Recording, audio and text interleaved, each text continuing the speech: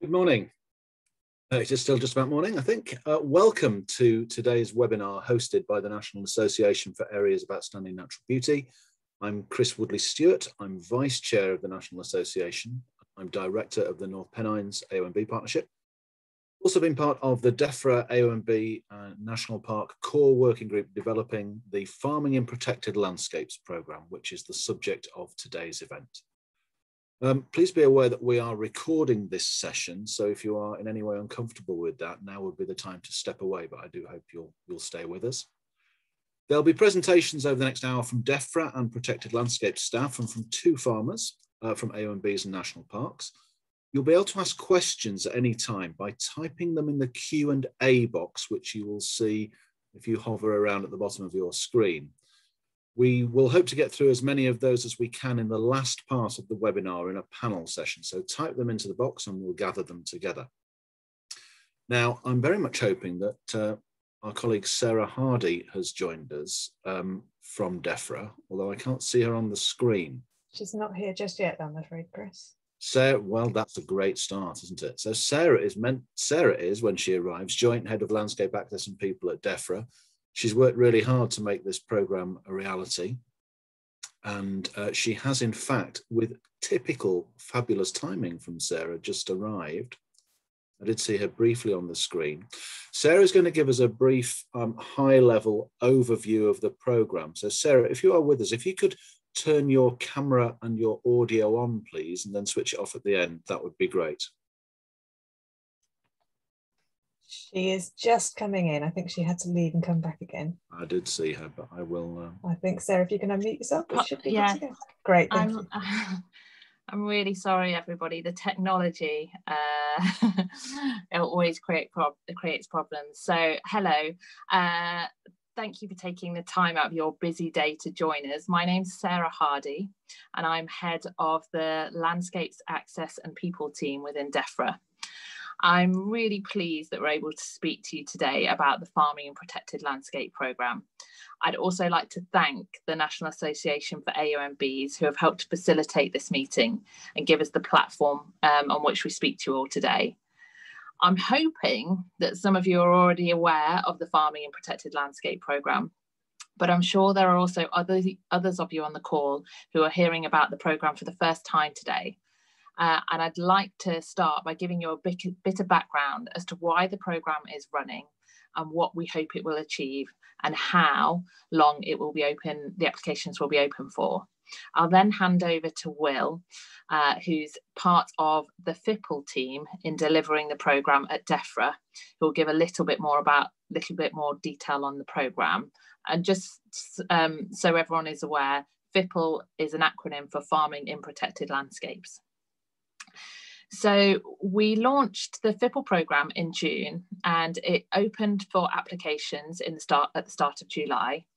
It's a three-year program and it will run until the end of March 2024. The programme is part of DEFRA's Agricultural Transition Plan, and it will help you as farmers and land managers in national parks and AONBs in England to make improvements to the natural environment, cultural heritage, and public access on your land. At DEFRA, we see protected landscapes as really special and unique places that need protecting. The programme is designed to focus on the key challenges facing you and your local communities in protected landscapes, helping you to improve the landscape and to effectively manage the high visitors numbers. The programme looks to deliver under four, three, four key themes climate, nature, people and place. And Will is planning to say more about this in a bit. The programme has been designed to provide the opportunity for you to work more closely with the protected landscape body you farm within. We know that by supporting those who live and work in our landscape, we can help to protect those exceptional places and support the local communities within them. If you're interested in the programme, you should speak to your local protected landscape body to build your application with them. There are farming engagement leads in each protected landscape there to help you work out what's best for your farm, but also to help you understand what will fit in with and support the wider protected landscape with which you farm within. I'm sure that you're wondering how the programme fits in with other DEFRA schemes. And so, just to be clear, this is a time limited programme and it will work alongside and not in competition with existing DEFRA schemes. If activities can already be delivered through existing schemes, they should be. You can receive funding from more than one DEFRA scheme.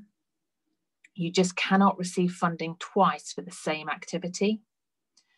Over the longer term, we envisage that the Sustainable Farming Incentive, the Local Nature Recovery Scheme, and the Landscape Recovery Scheme playing a specific part across these are protected landscapes, with farmers who lead in the Farming in Protected Landscape programme taking projects, sorry, farmers with farmers who lead on the Farming in Protected Landscape programme projects taking part in one of these schemes. Together with this programme, we want to make sure that we are supporting the farmers in our protected landscapes to ensure that our protected landscapes are havens for nature whilst allowing them to be places for the public to enjoy, learn and thrive, also while supporting productive farm businesses within them. I'm now going to hand over to Will, who will take you through what the funding will pay for.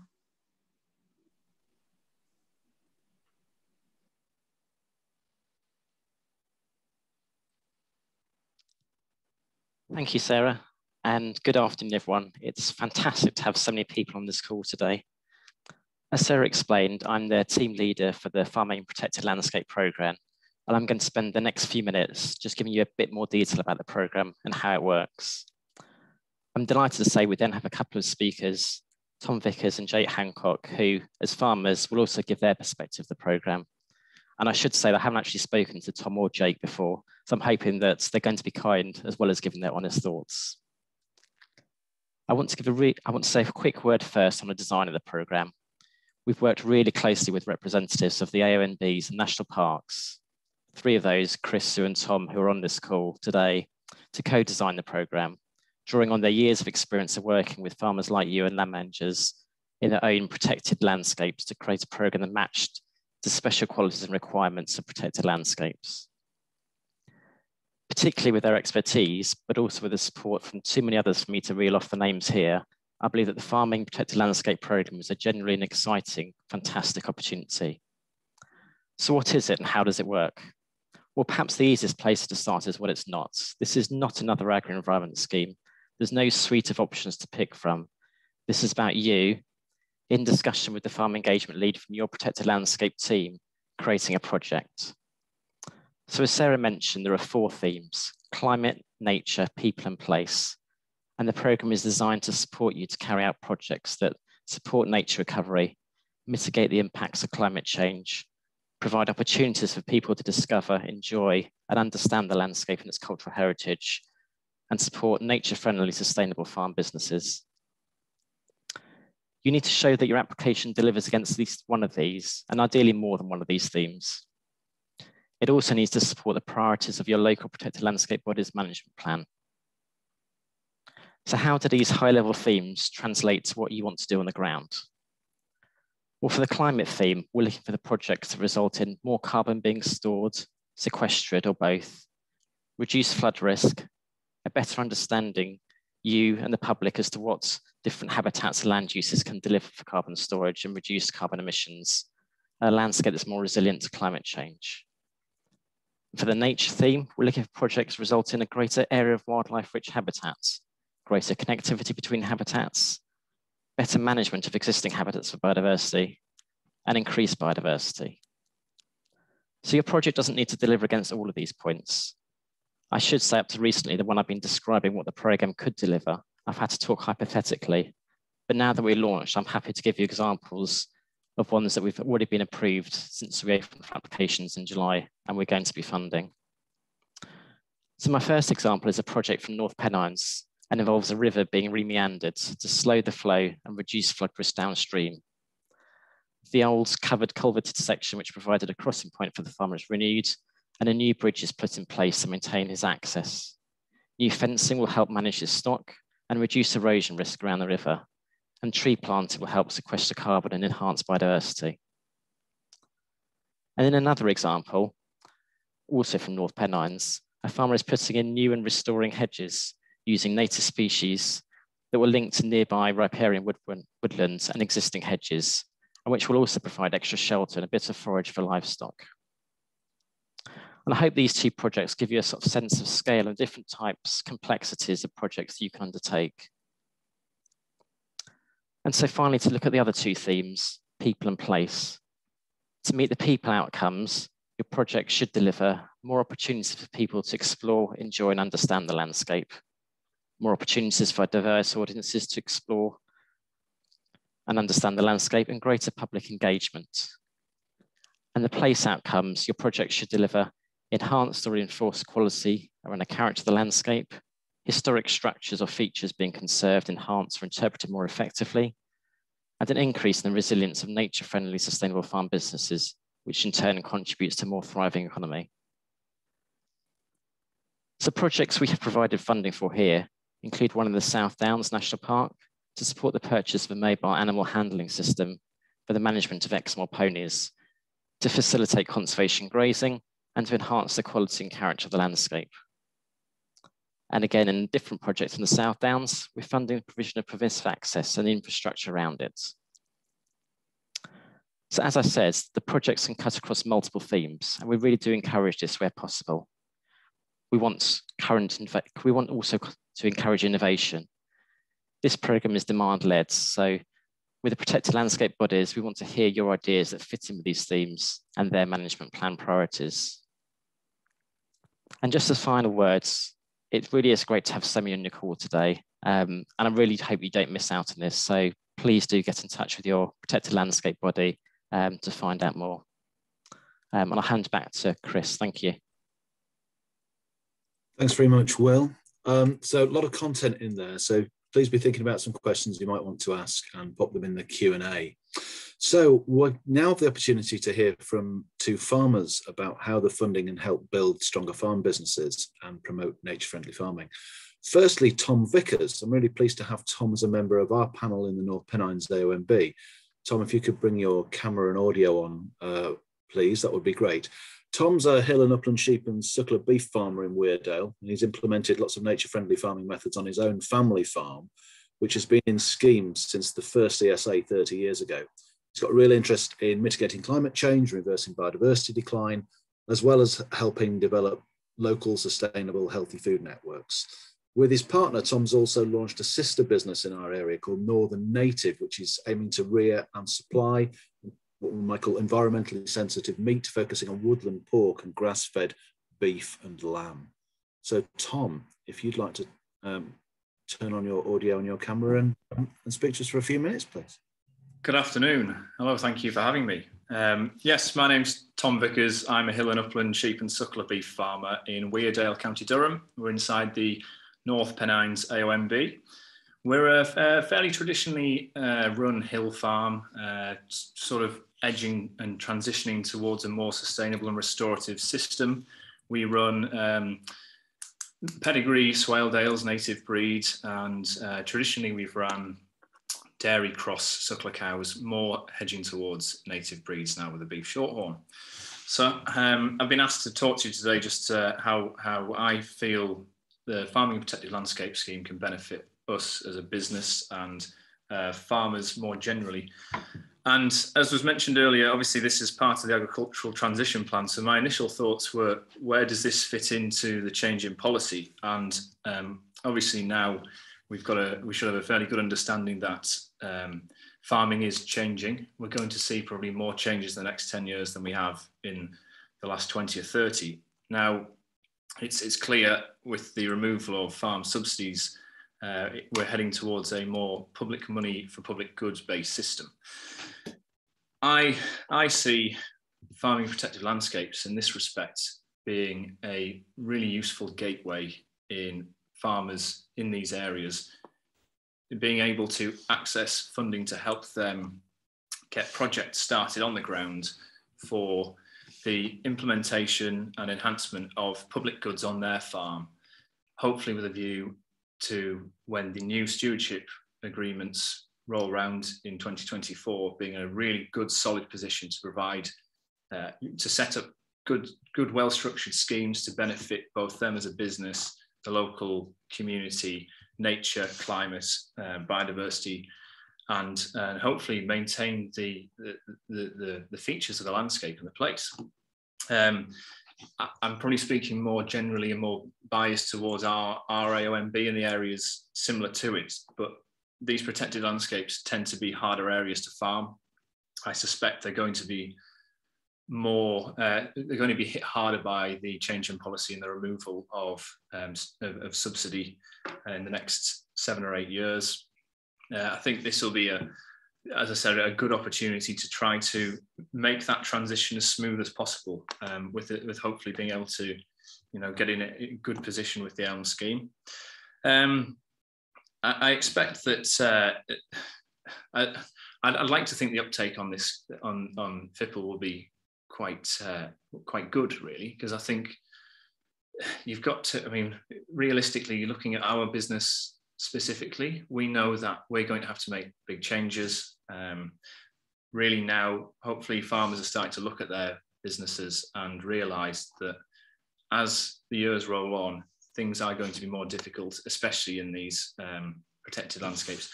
And, and hopefully they can be, make good contact and have a good relationship with their local AONB um, and on the ground get out, have a good look around your farm, see where you might be able to to, to, to implement projects that will hit these four the four main targets that the, the climate biodiversity people in place, but also the local area targets as well.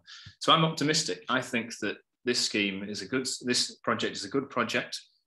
I'm looking to take advantage of it myself, and I'm hoping that many other farmers in our AONB and further afield do as well. Thank you.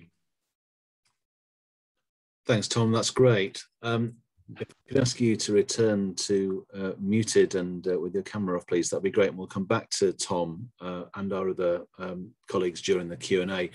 Well, let's go south now and hear from Jake Hancock. Uh, Jake has run Wessex Grazing uh, for the last 15 years, a family-run business providing conservation grazing and traditional farm management across 9,000 hectares of Dorset, one of my favourite counties, certainly. Uh, Jake manages and sells native breeds of uh, cattle and sheep, whilst also having a major focus on public engagement and education about farming and food production and the environment. And that includes an active schools program and on-farm events for a range of audiences. So Jake's all about uh, delivering sustainable farming in tandem with nature conservation and inspiring future generations. He's also spent 10 years being a farm advisor and grew up on farms managed by his dad. So I can't actually think of anybody more qualified to talk to you uh, for the next five minutes. Jake. Thank you, everyone. I don't know. You've obviously got some background on me that uh, is from someone else, but yes, that's that's a good uh, run through of my career. Um, hello, everyone. Uh, thanks for giving me the opportunity to talk. Um, as has just been mentioned, I run a business called Wessex Conservation Grazing. Uh, it was very sort of intentionally named when the uh, my I started the business when the higher level scheme was set up and when uh, single payment was decoupled in 2006 or just, just after that moment. So I was really, I saw an opportunity to um, get set up as a farmer at that moment um, off the back of those two things um, and try and take on land of high conservation value, thinking that that might be land that would continue to be supported in the longer term, but also was relatively easy for me to get going with low setup costs. And that plan has worked very well. Um, until I suppose recently, and now with the, the loss of basic payments on the horizon, that has a pretty dramatic effect on my bottom line. Um, simply because we're very limited on what we could. Most of the land that we farm is of high environmental value, so we don't have opportunities to intensify or diversify in the same way as more conventional farmers might have done. Um, so certainly, I've got concerns about the future, and I'm looking to, to ways to increase our uh, income in, from other sources. Um, just a, in terms of the business now, we currently look after six sites. In, these include conventional farms, where, which are actually organic. We're, we've got a sheep flock on a in an organic farm rotation. uh, where we're providing um, the livestock element in rotation with um, our landlord's uh, organic arable system, and that's all on herbal leys. Um, we, most of the rest of our land is basically either county wildlife site or national nature reserve or triple SI, um, and we're running North Devon cattle and Aberdeen Angus cattle. We've just recently set up a pedigree uh, Aberdeen Angus herd looking to sell pedigree um, black and red Angus bulls as one way of trying to increase our income from the livestock without um, reducing our uh, our sort of eligibility for some of the environmental schemes and land that we're managing. Um, I've put my contact details there if anybody wants to get in touch. Uh, I think somebody's going to kindly click on to the next slide for me. Now, yeah, great, this is working very well. Um, so in terms of the FIPL grant application, I only really picked up on this grant in the last month or two. Um, and it's, it's very recently that we, I sort of got in touch with the Dorset AONB um, and got things going. So we're at the early stages really. Um, the land in question is called Turnworth Down, which is uh, on the sort of chalk land high in the middle of Dorset to south of Blandford. Um, it's actually a wood pasture with chalk grassland in between all the glades, and there's also a, a 20 hectare scheduled ancient monument, which is an Iron Age uh, ring and field system. Um, we're in year three of the countryside stewardship scheme, so we've done all of our capital works already, which were mainly to do with pond restoration and tree felling and scrub management, um, and that's all done. Uh, and in addition to that, we're probably carrying out of the order of one to two thousand pounds a year simply on maintenance to try and stop scrub encroaching on the wood pasture. Uh, and I guess thinking about the fact that my bottom line is going to be fairly significantly affected by the loss of basic payments, um, really farmers are looking to effectively shed their own costs in that situation as one of the ways of dealing with it. So I guess the capital works and the, or the maintenance of the maintenance elements of those schemes are going to come under pressure as farmers feel they've got less money in the pot um, to spend on on maintenance of the land once the capital works schemes are over. Um, and so I think possibly this is one area where FIPL may pick up um, a fair bit of work in trying to continue to do sort of habitat recreation um, that wouldn't otherwise get done when things are, get tighter in future. Can I have the next slide, please? Okay, so we had our first meeting with the Dorset AONB team probably less than two weeks ago. Um, they made very positive noises about some of the ideas that we came up with, uh, including inviting me to take part in this webinar, which makes me think that these ideas will hopefully uh, more or less go through uh, without too many amendments. So these are the um, things that we've come up with. And in fact, um, I think we're going to committee in the next week or so. So our, our application's literally at the point of going in right now. Um, the land in question is, a, I'm a tenant of the National Trust, uh, and they had a sort of would like to do um, woodland plan that they had recently put in place for my own capital work scheme, and that included some work which there was no budget for, but whilst they were doing the plan, they came up with project ideas. So really, that's uh, tree felling, um, protecting or opening up glades, creating, making sure that the sort of pushing back the, the woodland and the scrub in favour of some of the chalk grassland, uh, and protecting some of the veteran holly and oak and ash trees that get overtopped and shaded out by some of the younger trees that are more vigorous. So there's there's about five or six thousand pounds worth of work that we've got that we're applying for for that. Um, we also looked at the cattle handling system, which I built in 2006 when I set up um, when I first started farming here. Uh, so it's now sort of 14, 15 years old with the with some of the posts starting to fall apart and and and it's in need of some serious repair.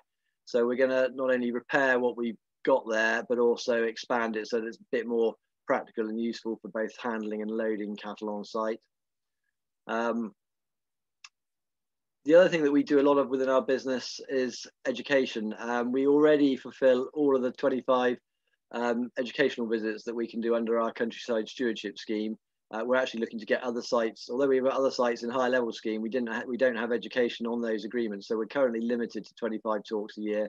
My wife's a teacher and I, and I very much enjoy giving uh, those talks to farmers. So uh, we can certainly do a lot more than we do already. And the other thing that we've uh, we were very disappointed in with the new countryside stewardship scheme was that they completely stuffed up the scope of the scheme. So where although the payments have improved under countryside stewardship, we now can only talk to school age children. Once you've left school, uh, there's no funding to deliver um, sort of educational walks and talks, teaching to college or university groups or older interest groups, including groups of farmers. We can't do that funded anymore. So really we'd like to broaden out the scope if we can using the FIPL grant again to how it used to be where we could talk to groups of any age. Um, the other thing they've stopped us doing was giving talks off the site in question. So we used to be able to go into schools, we did a lot of that, uh, or give a talk on any of the other sites that we managed which weren't in the scheme that we were, had the educational option on. So that again is a, a real lost opportunity we felt within the countryside stewardship scheme. So we're hoping that in our application that, that, that it will be accepted that we can re, we can broaden out the scope of where and who we're giving talks to. Um, so that. We'll, we'll, see where we get to with that. Um, anybody who's been watching um, file, what's it called? Countryfile recently may have noticed that down on Studland Beach in Dorset there's a Nofence collar project um, where I, that's actually cattle I look after for the National Trust where we're grazing the dunes on Studland Beach. Now those collars have been fantastically useful, not only uh, in in helping us to manage that habitat without putting up lots of fences, um, but also a lot of the sites that I keep cattle on have got uh, uh, are at least half, if not more, woodland, and they may be sort of two, three, four hundred hectare sites. And Turnworth, where we're putting in the FIPL application, uh, it's wood pasture, and at least half of it is woodland. So you can easily go up there and not find the cattle in the morning looking for them on a hot day like today. Um, so the collars we have been using are fairly unreliable with a shortish battery life, but these Nofence collars, because they're solar powered, have been much, much more reliable. So we're hoping we can possibly get some Nofence collars um, into the agreement. Um, and then, um, so that's really it in terms of the, the grant scheme that we want to put in for this season, which obviously runs out in March. Total cost of what we're putting in is about fourteen and a half thousand, uh, and that we're hoping to get maybe thirteen thousand from the grant application um, to help with that. Uh, and we are looking ahead to next year's round, and some of the things in our mind are improvements to the water supply, which is quite unreliable. I saw in some of the literature from the Dorset AONB that traineeships are certainly on the cards, and that's something we would be really interested to do. Uh, also, we're involved in some regenerative agricultural projects, as I mentioned earlier, with um, herbal leys on an organic farm rotation. So that's something I'd be interested in. And lastly, because of our educational um, work that we do, we were thinking about whether we could do a proper historic landscape survey, which has never really been done, even though we've got a really quite impressive archaeological site at Turnworth. Uh, and it, I think we may be able to look at doing some work there in order, to, in order to better understand the historic landscape and include that within our educational work. So we're quite excited if we can get some or all of those things um, included going forward. So that is in a nutshell what we're looking at and uh, hopefully that's of interest to some of the rest of you. Thank you very much. Thanks very much, Jake. That's a really nice example of uh, a diverse application to the program, delivering across lots of the outcomes. So thanks, that's fantastic. So um, I'll just remind everybody that you can put your questions to the panel for today uh, using the Q&A button at the bottom of your screen, and we'll deal with those shortly. I'd now like to introduce two other members of the FIPL core working group, if they could put their cameras and uh, audio on. That's Tom Munro, Dorset AONB manager, and Sue Fletcher, head of landscape at the Peak District National Park Authority. Uh, they're going to highlight how you can get some more information about the program and how you can make an application. And Tom, I think we're starting with you. Thank you very much, Chris. Can everyone hear me okay? Yep, absolutely. Thank you. So um, I'll, I'll just give you a bit of bit further information about where you can find out more information. Um, the best place to start really is the uh, DEFRA or your protected local protected landscapes website. Um, on there, there's some some well-developed applicant guidance um, that talks you through uh, some of the various types of projects or activities that could be funded under each theme and the application form and how to go through it and the, the necessary documentation required for that. Um, your local protected landscape, so work out who it is you want to talk to first. If you have land that spans uh, two protected landscape boundaries, it doesn't matter which one you go to, um, they'll talk to each other about it. Um, but uh, talk to your local protected landscapes, whether it be the, the AONB team or the National Park Authority, um, and uh, find out what's going on there. So there, many have produced newsletters, uh, many have developed a, a, bit further detail on the scheme, um, and many are running one-to-one workshops or uh, surgeries, um, webinars, further webinars like this with a local flavour, or um, workshops and a presence at agricultural fairs, although the season's coming to an end for that, or uh, livestock markets, for instance. Um, several AONBs and national parks have also been working with the, the local advisor network. So you may find the advisors you would normally turn to for um, this kind of work are already up to speed on it.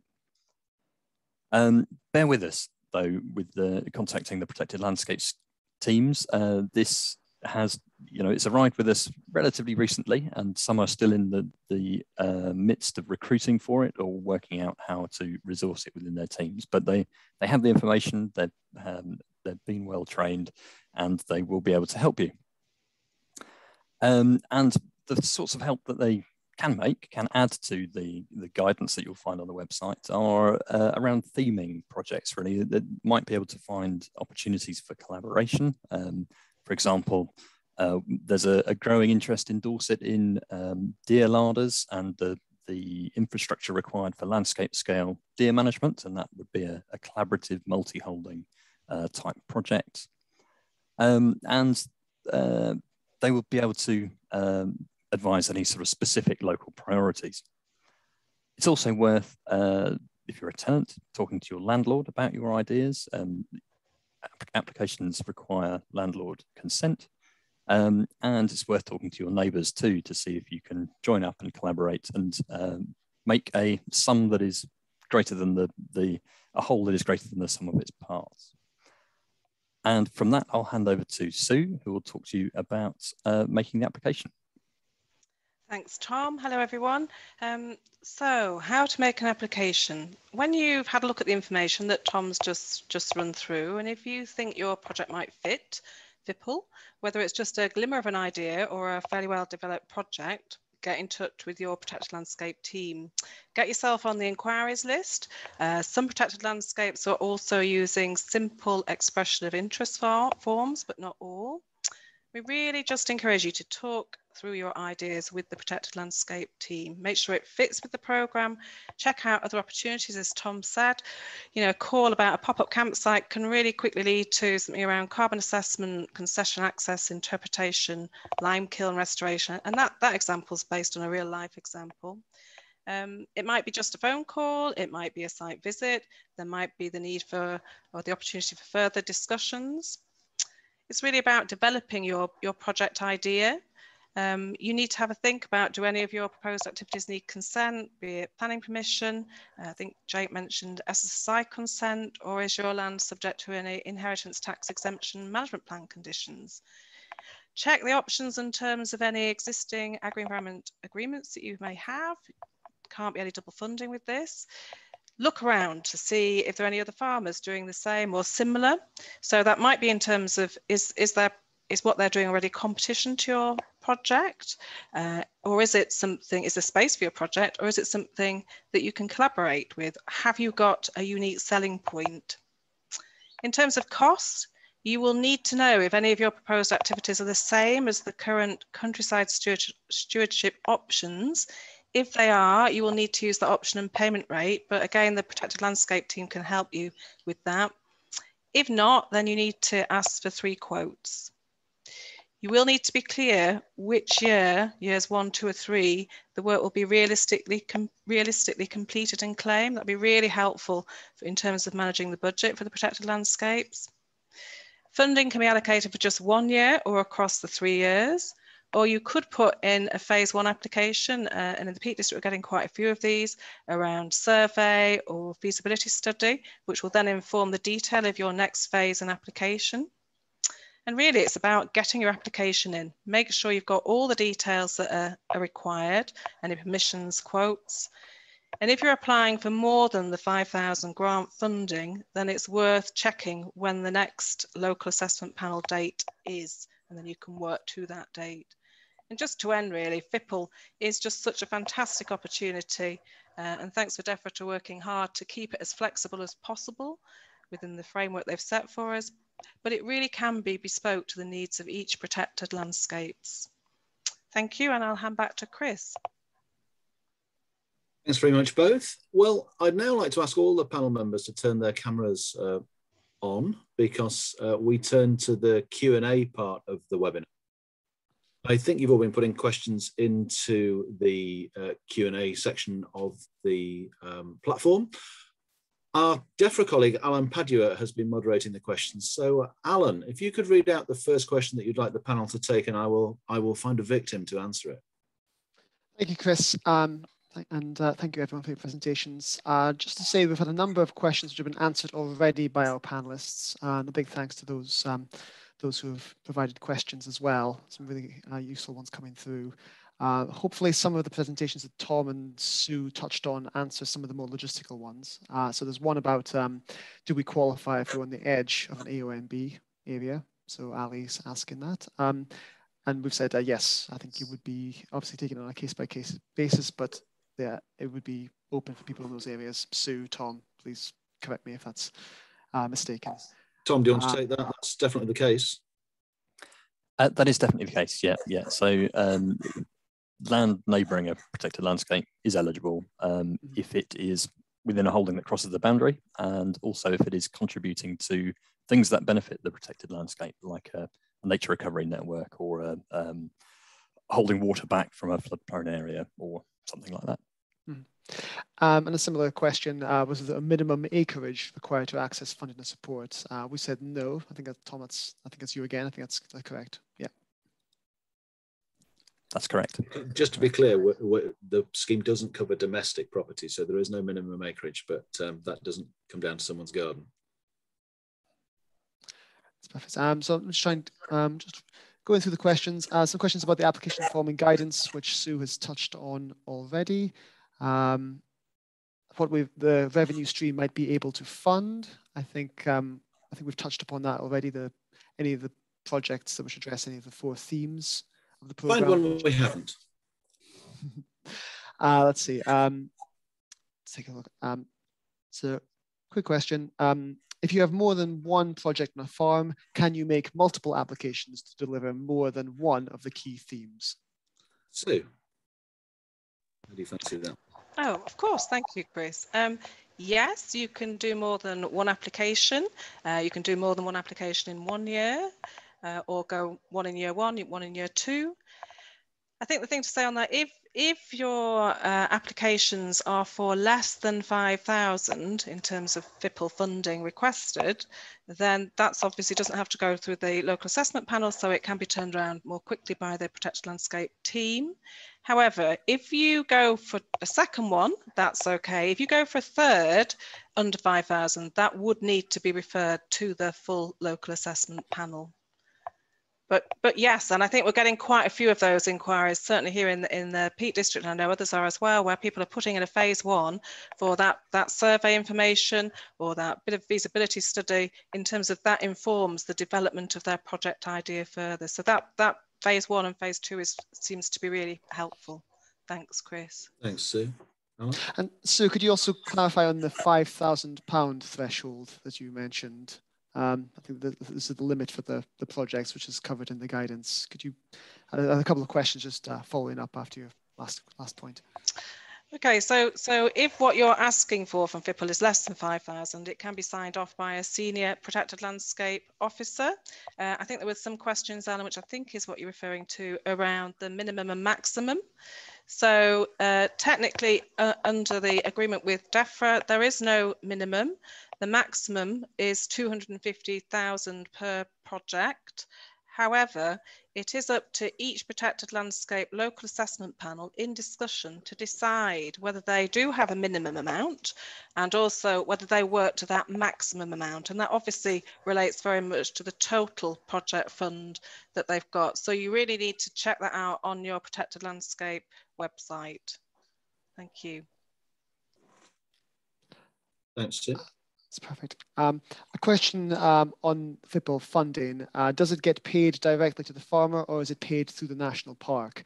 Uh, this question is from John. Um, this is important as some national parks use this as leverage to make farmers pay for planning permission that has permitted development in other areas. So um, I won't, uh, I won't say comment on the last part of that, but I think on the first part that um, Will, would you like to take that one? Yep. So on, on the first part, um, the DEFRA money gets transferred to the ONBs and national parks, and uh, the agreement is drawn up uh, with the farmers between them, and the payment goes through the national parks ONBs to the farmers. So the agreement that everybody has will be with the individual protected landscape rather than agreement with DEFRA. Yep. Alan? That's perfect. Uh, just I can see quite a lot of questions coming a in. A number of questions have just, have just been uh, uh, coming in. Um, this is, um, will the content of approved schemes be made public in terms of the content to help encourage idea development? So this is a long, um, next question in terms of any other uh, generating ideas for projects. A couple of people I'd like to answer that question. First of all, um, how would one of our farmers feel about that? Um, and then I'll ask Tom or Sue if they're actually planning to make theirs public.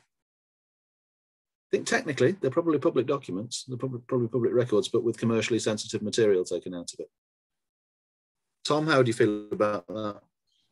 Um, I wouldn't have any concerns. Um, at the end of the day, it's, it's public money, producing public goods. It should all be above board and should be transparent. Thank you very much. And I think Tom, are you uh, publishing yours in some way, shape, or form? We will. We'll have very uh, scant detail as a list on the website, um, but they will be they will be listed and publicly viewable. I think that's the way we'll, we'll certainly approach uh, ours. And Sue? Yeah, just the same uh, as uh, Tom. I think before we did any major case studies, we'll pick some major case studies, but we'd obviously make sure the farmer was happy with that before we did that. And so far, it's been really useful in the webinars we've done with, with farmers, land managers, in terms of just using a map to outline the sort of applications and, and interest inquiries that we've had. And I think that really helps just develop project ideas. So, yeah. Sure. And I think in terms also of um, public understanding of what it is that we're doing, we'll be also publishing the names of our panel members on our websites as well. So, because I think it's reasonable for farmers and land managers to see who it is that's uh, sitting in judgment of their of their proposals. Alan. Uh, thank you. Um, this next question is about um, some Charlotte on um, monitoring evaluation. Uh, so monitoring and evaluation. So, how are you going to measure outcomes? Will the monitoring be ongoing, including after FIPL has ended? Will, you know I'm going to come to you. Uh, thank you, Chris. Um, yes, yeah, so we will be having a separate evaluation process, which we're um, just in the process of starting now, um, which will be looking at outcomes, um, and it will go through the lifespan of FIPL. We'll look um, shortly after um, FIPL has ended. but we have to accept that some of the actions we've taken won't deliver benefits for some years to come. So we appreciate that not everything will be captured by the evaluation, but certainly a lot will be. Sue? Yeah, just maybe worth adding adding on that that obviously the application form includes asking what your outcomes will be, what your project will will deliver, and so um, when you put your claim in, there'll be a, a discussion with the FIPL officer about ha has it matched what you've done, uh, but then I think as, as um, so there'll be some level of sort of seeing how that's gone and any learnings from that. But also, as Will said, then there's the national evaluation where it's probably going to be the larger projects that will be fully engaged in in part of that evaluation. I just thought that was worth sharing. Thank you. Yes, it is absolutely. Thanks, Sue. Alan. Uh, there's a couple of questions on um, compatibility with existing schemes. Mm -hmm. Um, so the example, the hedgerow example, North Pennines, um, why wouldn't be funded through something like countryside stewardship, hedgerow and boundary scheme? Um, that's one particular, particular example. And a similar question um, in terms of recommendations for um, getting a capital grant from the existing ELS or HLS scheme to provide drinking tanks rather than apply through um, farming protected landscapes. Um, I don't know if, if anyone in the, in the team can take those two questions or perhaps speak more broadly about um, compatibility with other schemes. Sure. Um, Tom, do you want to talk a little bit about compatibility with CS? Um, I don't expect you to know about the North Pennines example, but you can probably you can probably guess.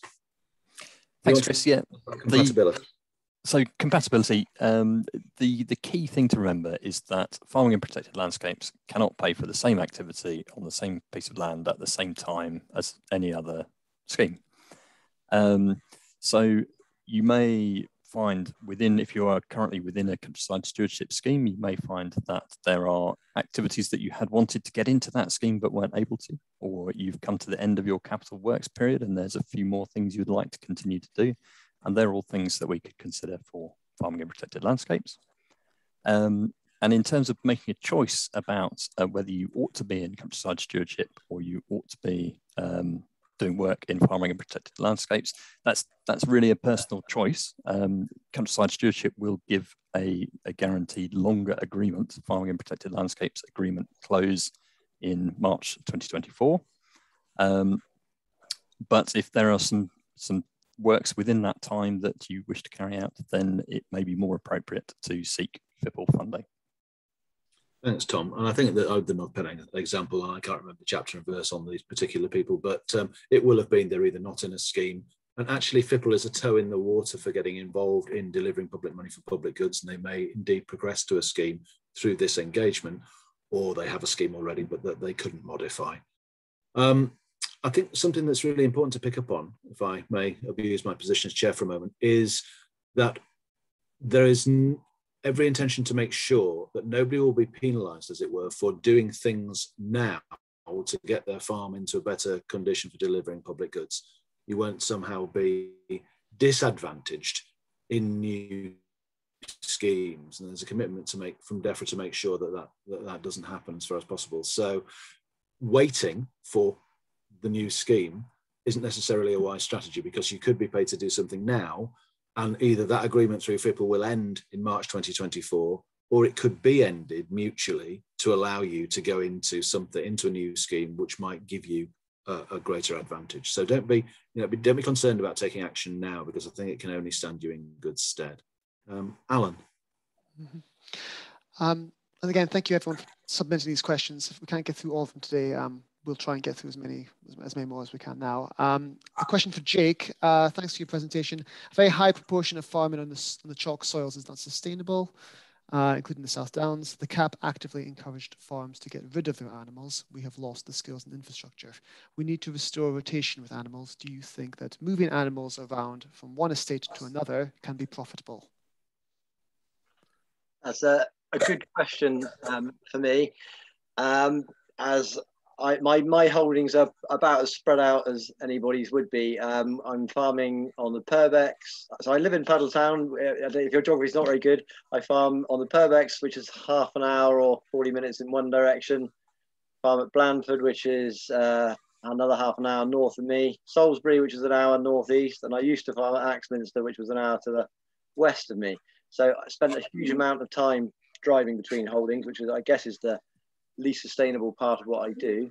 Um, and I think it's very challenging because ultimately I didn't inherit a farm and I've looked to get involved in farming through opportunities as they arose within a traveling distance. And of course, I've got to in, include that travel time and the extra work involved in all of my costs. So um, I think it's a real challenge. I think for my business, losing basic payments is to come straight. You know, it's, I don't know what everybody else's situation is, but for me, it's probably thirty thousand pounds off our bottom line, which is a huge dent in our profit. Um, it, and so it's a, we're, we're working out how, what we can do going forwards. Now, clearly, some of the places that I'm farming, and some of the places, and I think a lot of the smaller sites that people will be involved with are going to become unviable. You can't you know, they're only some of these places have only become viable because of the introduction of HLS type rates of payment, in addition to being paid for the area payment on basic payments rather than for the number of cattle you've got. So, so there are going to, I'm sure sites are going to become that were viable for some farmers are now going to become unviable. Clearly, we're looking to make more money from our livestock. Clearly, we're, we're looking to see what sorts of diversifications might fit with our farms, or in my case, it's all nature reserves. So I can't go building structures that might allow me to earn more money. All of the things that you'd normally see as diversification for me as a not quite a one man band, but almost it's adding a huge amount of labour in order to try and stand still in terms of income. So I am concerned and I'm looking for where the opportunities lie in future. Um, so it, it's going to be a challenge, but I don't think, you know, in terms of that question, bouncing that back to people at DEFRA and in the AONBs, yes, all of your sites are going to become significantly less viable by 2027 than they are now, unless those farmers find some other magic way of making some money. So anything you can do to support them is going to be helpful. Thanks very much. It's very comprehensive. Um, Alan. Yes. Um, so a couple more uh, eligibility questions. Um, so I'll take them both in turn. Uh, can we apply for, this is from Catherine, can we apply for joint funding for a project as a part of a farmer cluster and funding for a different project as an individual farm in the same year? That's the first question.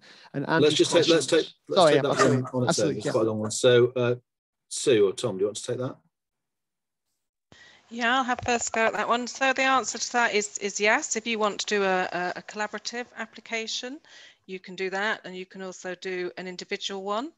Uh, in the same year. I don't think that would be a, a, problem. In terms of the collaboration, it's just how you might choose to set it up. So one person will have to take the responsibility really for the uh, application and the subsequent agreement if it's approved, and then decide how that is um, split ac across those farmers that are collaborating. Alternative, you could enter into a formal collaborative agreement, but hey ho, nobody's, not everybody's at that point. So there are different ways. And again, if that's an issue, just talk it through with the Protected Landscapes team, and we'll be sharing how these sort of issues are, are solved. Uh, so hopefully that'll really work collectively across the Protected Landscapes as well. Thanks. That's great. Alan, uh, next one. Uh, so eligibility linked one, perhaps. Thanks, yes, Sue it was an eligibility. Um, apologies, it's just been. Ah, yes. So um, this is a question from Andrew. Uh, they've formed a group of commoners and farmers and would like to apply. Uh, what do we need to do to formalize the group to meet the criteria required? Who'd like to take this one? I'm more tempted to come back to Sue with things like this. She's got such a lot of experience of this kind of thing there's a really helpful piece of guidance under the countryside stewardship. Uh, I can't remember the link. Maybe we could put the link in the in the chat afterwards, um, or make sure people get it because that sets out about particularly those commoner agreements and what's required for stewardship, and that's what we would start. This be the starting point for FIPL. Tom, you might want to add, or Chris. Tom. Uh, yeah, that's right. Also, uh, some some form of partnership agreement, for example, for a for a farm cluster would be what we're looking for. Um, the the level of formality and the amount of lawyer input you need in that would depend on the the risk that that's exposing you to. But it, it could be a very simple document. Alan. Um, just a quick question on um, and from Peter, how do you see increased public access working alongside trying to increase improving wildlife? Uh, so this, um, so Peter has 14 acres of open access land. And if you were to put up a sign telling people to keep their dogs on leads during the ground nesting bird season, it would not last 12 hours. Okay, what I don't want to do is open this up to being a conference about the natural environment more widely. But um, in terms of the question, um, it is perfectly possible to fund um, new access arrangements and access management through FIPL. Um, does anybody want to have uh, make a brief response to that question? It is possible to fund access in this way. I'm, I'm sorry that the, the questioner would have a real problem with keeping visitors' dogs on leads. I know it's a real challenge in a great many places, um, but it would be possible to fund access infrastructure uh, and access agreements through FIPL. It may not be what you particularly want to do, the questioner in this particular case, but it is something that we can do through FIPL. Um, perhaps you know, providing linear access and making sure that dogs were controlled by the fencing associated with linear access might be an option. Could I add to that? You can add to that. I just didn't want to open it too widely into a general conference about uh, about the landscape more widely. That, that's thanks, Chris. And uh, I'm not going to take it wider. Only to say that FIPL could also support some educational materials that would encourage and explain why dogs should be kept on leads or um, why well well behaved um, animals are welcome. Thanks, Tom. Yeah. Um, just we've had a really interesting uh, example recently where you know um, a farmer land manager has come up with quite an innovative idea where he's actually thinking of making a rebuilding a, a sort of a, a, wall, quite a high wall as is existing, but not in good shape, and actually looking at whether it'll work to provide a specific dog walking area and then possibly exploring training courses because we've got the COVID impact with uh, lots of puppies and young dogs and changes around that. So whether that'll come to anything, I don't know. But as Chris said, FIPL can do access in terms of that situation. You know, it could be about concession routes and as Tom says, more on the positive interpretation to encourage. But yeah, we, we know there are issues with that, but yeah. people can help. That's part of where it can be quite innovative, I think. Thanks. I think that's the important message um, for the question there. I mean, it won't be for everyone in every place, but people can help in in many occasions. Um, thanks, Chris. Um, a couple of more questions to go. Um, Sue, um, Sue would answer, I'd like to answer this question live. Um, uh, so Sue mentioned countryside stewardship rates when these are available. Uh, those for leaky wood dams are very prescriptive and I've have been rarely adopted anywhere, I believe. Is there scope to use three quotes for more creative work as an alternative? Do projects under £5,000 require three quotes? Sue, would you like to take that one?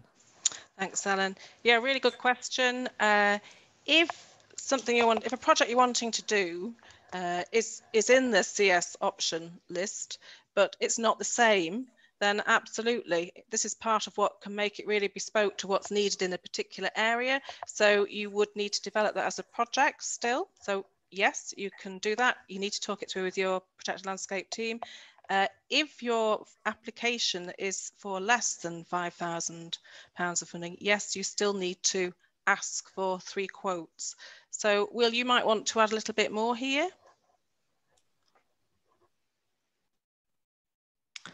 Yep, I think just to say, I think so. You've covered it really well, but um, just to say, yeah, three three quotes is is necessary um, for all these things to show that we're getting value for money. I think we're looking for people to make the effort to show that they have, um, to make the effort to secure three quotes uh, where where they possibly can. It won't always be absolutely possible, but we want a genuine effort to to to try, if possible, please. Hmm. Um, Alan, we got a just say is we'll take the remaining questions that we've not been able to answer. We will try, when we email people the recording, we will try and answer the unanswered questions as best we can um, in writing and send that with you with the email. Uh, so this is a question from Merrick. Uh, in the long term, would it not be sensible for AONBs and uh, national parks to become the ELM convener for the protected landscapes to secure a oh. collaborative agreement Tom. Uh, sorry, this was a Tom to answer. So yeah, to secure, uh, yeah, Tom Dorset. Yeah. The best the essence of it. Should we become the conveners of ELM? Thank you, Chris. It, it's one of the uh, it's a, it's around one of the recommendations within the Glover review, which uh, DEFRA will be consulting on shortly. Um, the the government response to the Glover review. Uh, from the protected landscapes side, uh, that's absolutely a role that we would like to embrace. Um, um, for ELM. Um, and uh, we hope through farming and protected landscapes, we can also evidence a role to have a, a bespoke and um, personalized approach to uh, investment through ELM in the protected landscapes themselves. I agree with that. Um, we are close to our deadline of one o'clock. We'll have a couple of questions. Uh, it's a quick uh, logistics one. Um, if the AONB doesn't have a lead person appointed and in place now, will the three-year window be extended for the uh, program? Um, I can answer that, but I shall ask one of my colleagues to do so. Um, Sue, perhaps they can give that question the bad news. No.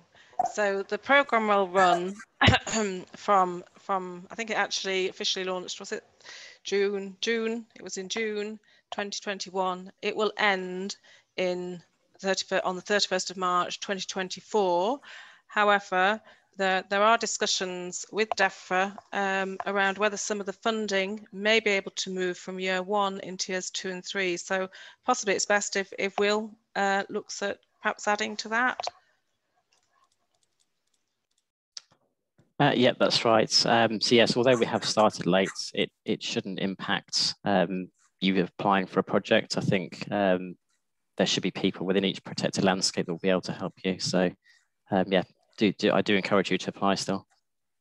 It's quite a challenge for AONB teams, and we are trying up because we are, you know, not as well resourced as national park teams, even though, you know, they could do with more resources too.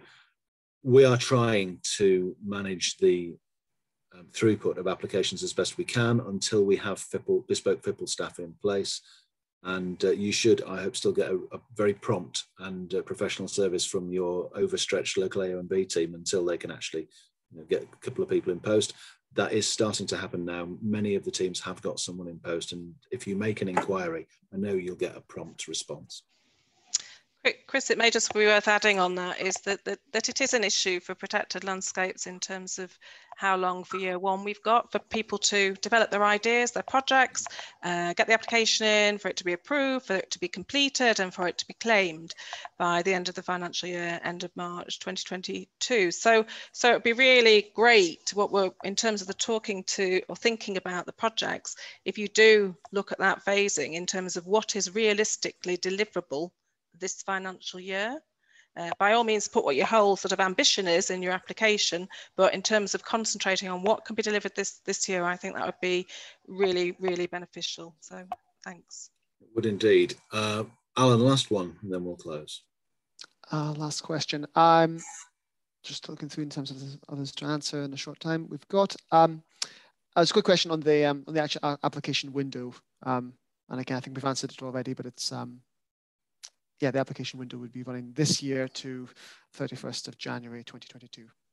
What I would say is that we will, in the protected landscapes teams, will be continuing to work with people through when that window has, has closed for this year throughout um, February and March. We're likely to have panel meetings so that applications can be ready, uh, successful applications can be ready to go at the start of the new financial year. So we won't be um, stopping engaging with farmers and land managers holding our panel meetings, doing the assessment and supporting you to deliver exciting schemes through this program. So uh, we'll now draw the session to a close. Um, I think the key thing to take away is that your next step with the program is to contact your local AONB and National Park team. Um, about today, we have a feedback form that uh, Anna will pop up on your, that should pop up on your screen, I think, uh, when you leave the webinar. Do please fill that in if you've got a moment. I'm sure it's not onerous. We'll be emailing the recording to you and any questions and um, that we hopefully that we haven't answered, we'll be able to answer those. So I'd like to thank our speakers and Anna Trance at the National Association for AONBs for bringing this all together. And thank you to you for taking time out of your busy day. Thank you very much and goodbye.